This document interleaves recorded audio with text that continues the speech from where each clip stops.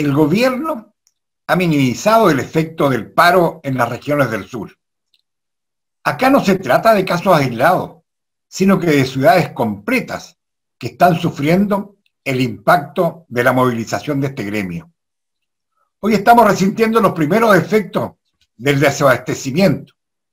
Los camioneros saben perfectamente que la vida en las regiones, sobre todo en el sur, es bastante diferente a otras regiones del país y parece no importarle la vida de millones de chilenos.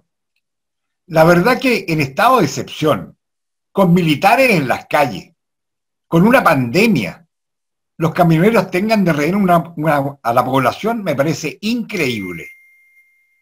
Porque a la pandemia ahora se ha sumado el miedo del desabastecimiento, tanto en esta región como en otras. Y el gobierno no puede someter a la población a otro estrés más como este.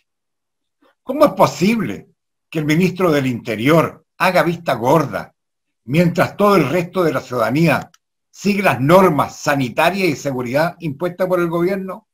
Es incomprensible.